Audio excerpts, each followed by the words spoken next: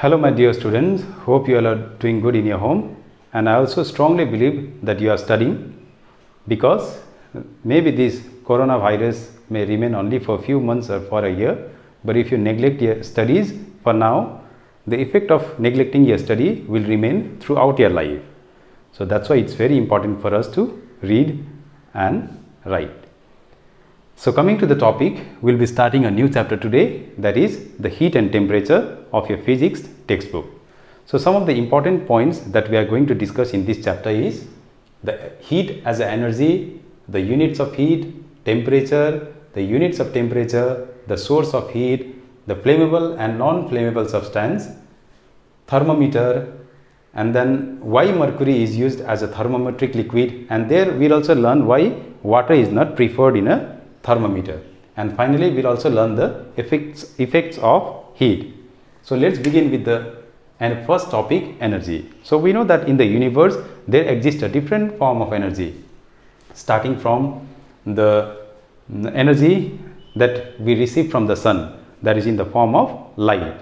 And we also have ears. Okay our ears helps us to hear the different kind of sound. So the sound is also a form of energy. So similarly a heat is also a form of energy. Now why is heat known as energy? Because heat is capable of doing so much of work.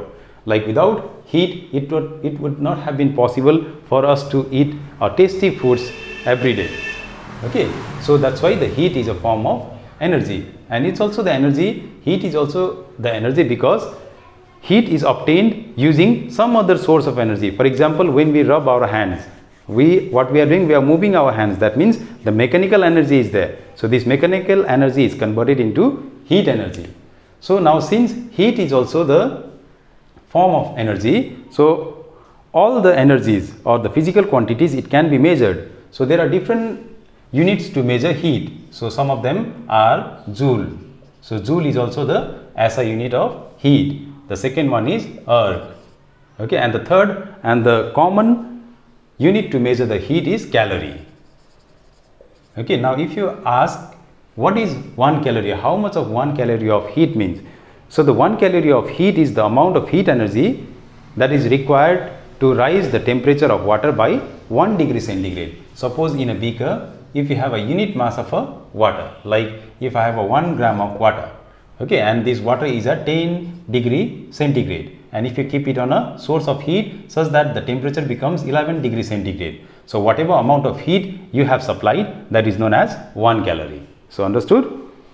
Now the second thing important term in this chapter is a temperature. So what is temperature? Temperature is just a parameter.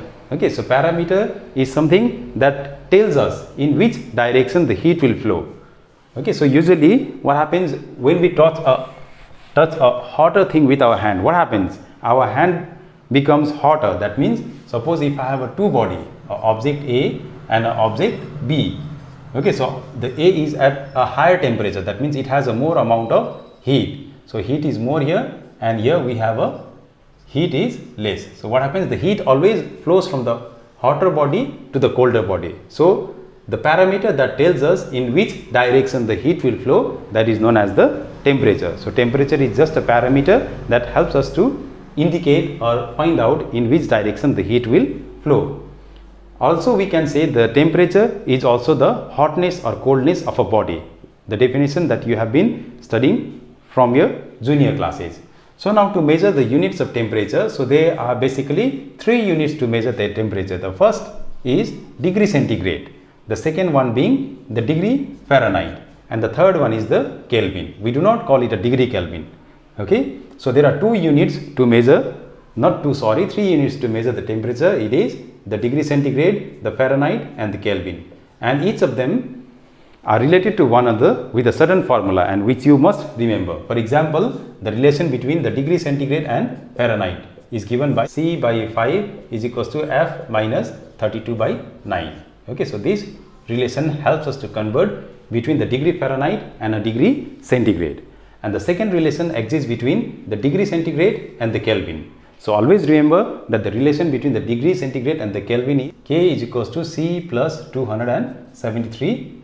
Okay. So using this relation we can easily convert the Kelvin to degree centigrade. So it is very important for you all to remember these two formulas to convert the degree centigrade into Fahrenheit and Kelvin into degree centigrade. So if you remember this one, so it will be very easy for you to solve some of the numerical problems given in your textbook. So now coming to the next topic, the sources of heat.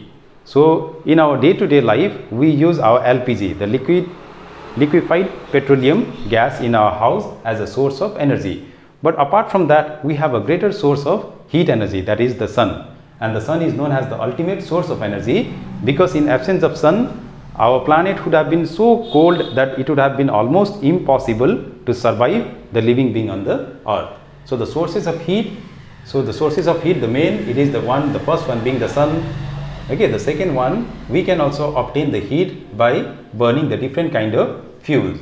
Okay, or fuels like we have a coal, petrol, diesel, kerosene and so many other fuels that can be used to produce energy. So now coming to the another topic, the flammable and the non-flammable substances. So what are they? So the flammable substances are the one which catches fire very easily and the non-flammable are the one that does not catches fire easily. And do not get confused between a flammable and inflammable substances. Flammable and inflammable means the same thing. Now coming to the third, not third, the next important topic is a thermometer. What is a thermometer? A thermometer is a device that is used to measure the temperature. Okay. And the thermometer generally uses a mercury to measure a like thermometer generally uses the mercury as a thermometric liquid. So the thermometer is nothing but it's a, a cylindrical glass tube with a small capillary inside it and a marking. The lower point is known as the lower fixed point which is usually 0 degree centigrade and the upper fixed point is taken at 100 degree centigrade. At 100 degree the water boils and the, at 0 degree the water freezes and inside this there is a mercury okay and we have a bulb which contains mercury that is Hg. So with the increase in the temperature the mercury rises and looking at the mercury vapor in that capillary we can tell the temperature. Okay. So now we use why do we use a mercury as a thermometric liquid? That is a very important question. We use a mercury as a thermometric liquid because the mercury does not stick to the glass. And also mercury does not evaporate easily. And the mercury is also opaque so that's why it will be clearly visible in the inside the capillary. Now mercury is also available in the pure form. So there are many reasons why you use a mercury in a thermometer. You may also read it from your textbook. Now instead of many of you must be thinking instead of using mercury, why don't we use water? Because the water also expands on heating. There are many disadvantages of using water. The first one, the water is transparent. So inside the capillary, it will not be clearly visible. The another one is it sticks to the glass of the thermometer.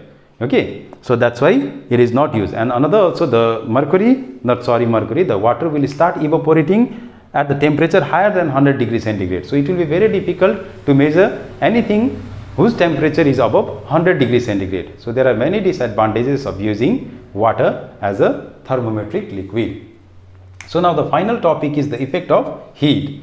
So what are the effect of heat? The first one is there will be a change in temperature. So if you supply a heat to the cold body, it becomes the hotter. Okay. So the first one is the when you apply a heat to the certain object, so what happens? There is a rise in temperature. The second one is whenever you also apply a heat on a substance, there may be change in its shape and size. So these are the two effects of heat on a object. Okay, so this is a very simple chapter from a physics textbook. Once again, you go through your book line by line and if you have any problem in understanding any of the topic from your book, you can always ask me in my WhatsApp number. Thank you. So in the next class, we'll also begin a new chapter and I'll also send you the solutions like the short answer questions or the objective questions of your book and you all try to solve the long answer type of question and I'll also send you the solved numerical problems. Thank you. Stay safe and stay happy.